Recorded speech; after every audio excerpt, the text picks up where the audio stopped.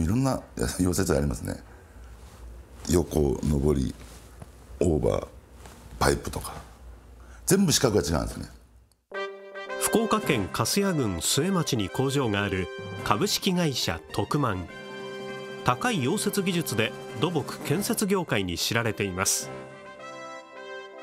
受注で多いのが建造物の基礎杭の溶接。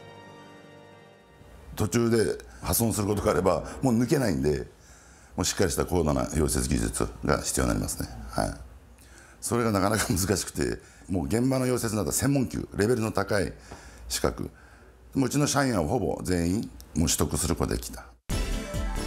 建物を支える基礎杭は耐震基準を満たすよう決められた強度を保つ必要があり長さが足りない場合は途中で溶接して長さを足す必要があるのです。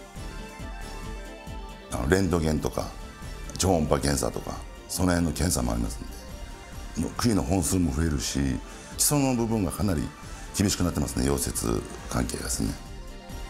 創業は平成17年。おじさんの会社に、まあ、18歳高校卒業して就職してで29歳の時に独立したみたいな感じですね溶接工事にはたくさんの魅力があると長谷川社長は言います。何よりもやっぱ現場で頼られるゼネコンさんなんかに頼られる。本当腕一本で来てるんでお客さんが多い方がいいんですよね。毎日違う現場に行って溶接を終わらして帰ると。そういうのがいいですね。売上は右肩上がりで上昇。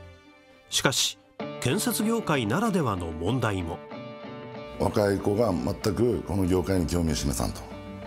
20年後がどうなってるんやろうと。建物が建つんかなと。本当、うん、本当若い子にその魅力。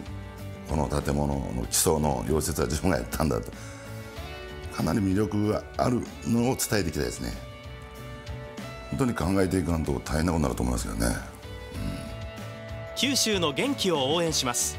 西日本シティ銀行。